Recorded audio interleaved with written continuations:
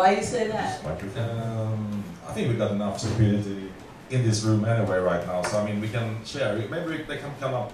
50 percent of the time. Oh, Be that one. interesting. Yeah. So introduce yourselves. I'm uh, Tommy Showstrom, and I play drums with Stupidity. And how much stupidity are you? Uh, 78.5% about. That works. and, and, and you? I'm PA, and uh, well, if you're the catcher, I'm gonna be Ryan. Oh, Yeah, okay. you know I love you. I do. Oh, what? You know that. Thank you. I wish I knew how to say it in Swedish. Jag älskar dig. Jag älskar dig. Your älskar dig. Don't even bother. Yeah, your älskar dig. Jag älskar dig. Jag älskar dig. Jag älskar älskar dig. dig. Wow. So when did you get to New York, stupidity? When? When? Uh, is it About, uh, I would say, uh, 24, 24 hours ago? yeah. And what have you been doing for the last 24 hours? Drinking beer! Yeah. Yeah. As soon as you got off the plane, we, drinking. we just came here from Manitoba because uh, Richard, Oh, Richard Manitoba. Manitoba is a great friend of ours, and uh, so we went there to his place and had some happy hour beer. Why not? I mean, it's a good introducing for. I mean, to come to New York and go to Manitoba. Ah, oh, he- for me, it's. I mean, Why first I complicate went things? to that I mean, bar. why complicate things? Just drink beer. So what kind of beer do you drink? Because he doesn't drink his beer, right? Who? He. Richard Manitoba. Yeah, he has a drink now. I don't know what he drinks, but I. He has a good bar though. I like his Oh, I bar. like and his he's bar. got a great happy hour. Yes. And Zoe's been around. She's she comes. She's bartending visiting. there. She's great. Hi, Zoe. Yes. And and Richard Manitoba has really turned into a New York icon. Basically, he really did. Uh, yeah, I mean, we love him. We love the Dictators since a long time ago, and that's what music we grew up with. So I mean, in Sweden, from all the punk rock and stuff, which influenced stupidities. I mean, he's an icon for us. That's so cool. So we came here ten years ago. Uh, first time I came here, I went to Manitoba. So I was, you know, walked in there like scared. I thought this man would kill me. Aw, he's not like no, he's a sweetheart. No, Nice, but- very nice I guy. mean, when you come, but you never met him, yeah, yeah, yeah, of course, yeah. That, that, that because yeah. Dictators has a pretty hard image. Right. so yeah, but I mean he's a fantastic person and he done so much for us and he's he's great. We had a Swedish party there last year, in when we released our new album, and uh, he likes Swedish stuff like Swedish caviar, you know, salted fish. I can see that. That stuff. Yeah. That's so funny. Yeah, he loves it. I mean, so it was a great time. So Because us New Yorkers, we always go to the food. next question. Swedish meatballs. What about those? Yeah, that's good. But I mean, you're a bit fussy a bit because we don't want it. Some some of um, Americans are really fussy. They want to try. Oh no, it's salty. Oh, I'm not sure. But Ah. some, it could be great. So you should be more, you know, maybe I want to try it, see what's it's like. So what about what about what do you like to eat in New York? Uh, Food. Yeah, I mean, same thing as I did. I, I like. Uh, the, the, the, my experience in my brain is like when I come to New York, I want to go to uh, have pizza at John's. John's Pizza at. Uh, Bleecker Street. Bleecker Street. Ah, I mean, that's that's something else. I think. Oh. I. But I mean, you got it all. Did you get pizza yet? Uh, last night when we came just from the flight, we had need to eat something, so that's it's a pizza place. We will stay at St. Mark's Place, just in the hotel. So we went down and had, you know, It's So you're called- staying in the called St. Ray's Mark's pizza. Hotel? It's not the- yeah, it's Yeah. called Ray's pizza, but it's not the right Ray's pizza. No, it's a different one. Chelsea. There's like a million rays around. Yeah, No. I mean, But that on one's not so bad. It's, it's pretty good, right? Yeah. it's all right. You have a good place just around the corner on Second Avenue. It's called Heroes. You got fantastic slices. Good for you. You Yeah. we got to talk to the foreigners to find the good pizza. I'm just kidding. Oh, there's some really good places. But anyway, so when are you playing? I know you got like a triathlon going on Oh, we here do- with, we do, with uh, Spanking Charlene, you guys. Uh, we do tomorrow. We do Bowery Electric with Fleshtones, Steve Wynn, uh, Palmyra. you always have clout. You guys play with really good Yeah, bands. flesh tones are great. Well, yeah. That's great, kid. are, are you surprised? Not at No, all. not at all. We expect that. I, I'm I'm ninety percent stupidity. I am not surprised. I know. I know, I know. Exactly. What'd you say? No. Fleshtones is such a great band, and I think, I mean, if they got their appreciation they should have, they should be huge because it's fantastic live band and been going on since '76 in New York, and they're still going. They're still fantastic. So I mean, I don't know why they don't have more following in in, in, in the states. Yeah, but it's not only the Fleshtones; it's the roll of the dice for everyone. It's you. Right. I mean, what is the magic wand poof that Uh, makes the, it happen? The new thing I saw on TV just a few days ago back. I mean, the new thing among kids, they go to a big stadium, they pay like a hundred dollars to get in, and then look at the guy playing records, the DJ. So what he does, he, the guy is playing records, got head, headphones on, he plays records.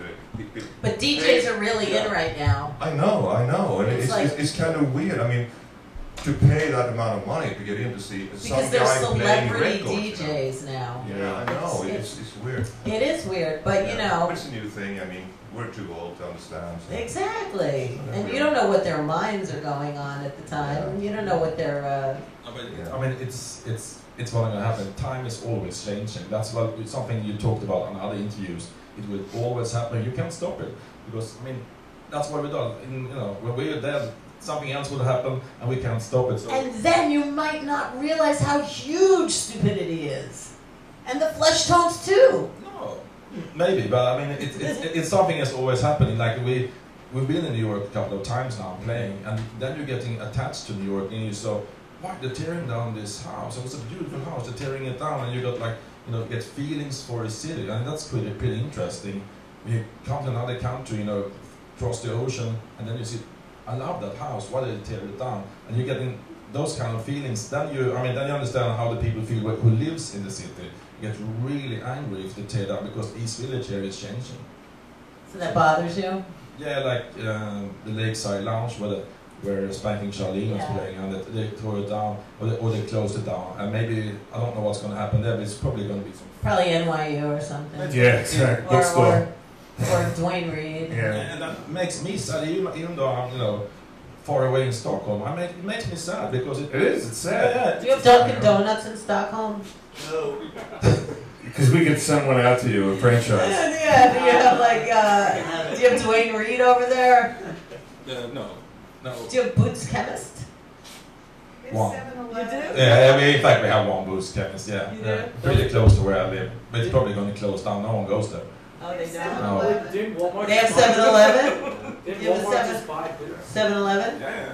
Those are really popping up everywhere. Yeah, It's those are scary. those I used to dangerous. like them when they weren't here because then it was like a novelty and I would have so much fun making coffee there. Now it's like, who needs it? It's too much. Overkill ruins it. I it. can tell you. A funny thing, when the 7-Eleven came to Sweden, they took it very seriously, and the shops were open from 7 to 11. Oh, that's cute. That's cute. Well, I have to say Wednesday this year is a 7-Eleven, so I'm kind of happy about that because we'll have a show on Excellent. 7-Eleven. Yeah. Maybe we'll, you know.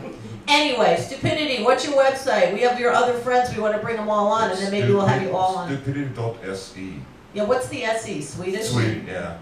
SE was Sweden. We tried to get calm, but it was already taken by some Some whatever stupid person. Somebody who's, like, Something- ransoming. something So, do you have any skeletons you want to share from the Oh, closet? shit, you want to have some no. vanilla milkshake? You know, Yeah. you want to skip? Should you have one each? Yeah. Okay. Before I share it, we, we, we have to mention these uh, the shows. Yeah. We're just talking too much. But they'll talk to you. No, Me? but he's talking too much. The uh, the shows with Spanking Charlene and Electric Mess, these fantastic bands. Yes. Yes. Um, next Friday, the 29th, at uh, the Brighton Bar in Jersey. what's it called? Long Branch, New Jersey. That's the first show, and the second show is at Yeah. the Ding Dong Lounge at Yay. which street? It's in Harlem. 105. 105. Columbus. Uh, it's Harlem, almost. Harlem. Mm, South Harlem. Oh, no, Spanish Harlem. Morning. Swedish Harlem. El Barrio. Barrio. Frankie Wood Harlem. Yeah, yeah, yeah, Frankie Wood Harlem. And uh, I mean that's next Saturday, and this uh, stupidity, Spanking Charlene, Electric Mess. Could it be better? I mean that's must be something to go and see, That's even awesome. for you. Yeah. I, but you know, do you ever ride to Long Branch? I mean, that's kind of far. Long Branch. Long Branch is New Jersey, isn't It's, it? it's closer than Sweden though. Yes, this is true. It's The the, beach too. It's very nice. Yeah. Are you gonna go to the beach? Uh, yeah, I bought some suntans, so maybe I will go down there. Yeah, just put it on. It's a very nice beach in Long Branch. It is. Yeah, it is. So you're gonna s- get a little culture. Maybe That's the where the boss goes to have a song time. Okay. Which boss? Bruce. Oh, he goes to Asbury Park, I think. But you never know. Maybe now he goes to Long Branch.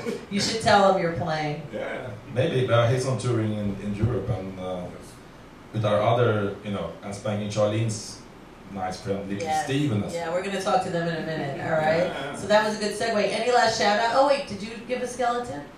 Well, you asked me a year ago and I couldn't think of anything, but now you mentioned Catch the Rye, and uh, this means I just suddenly remember the summer of, I think it was like 68.